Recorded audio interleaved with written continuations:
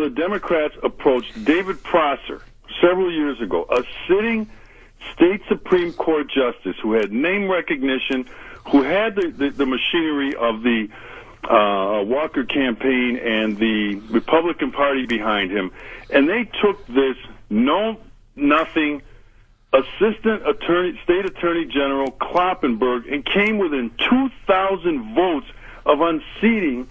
a sitting incumbent state Supreme Court justice because that's how they approach elections because that is one of their trump cards. When they can't win at the legislative level and they don't control the state house and some of these other uh, offices they run to the courts. And i just wish at some point that the other side the republican party of wisconsin would see this and start attacking their strengths. If the republican party of wisconsin didn't feel comfortable enough to get behind james daley they knew this election was coming two years ago and should have recruited and fielded a candidate that they could get behind and kickstart all of their um, uh, mechanisms like the uh, manufacturers group and whatnot. Because we got a four to three margin when I say we, the conservatives on the state Supreme Court,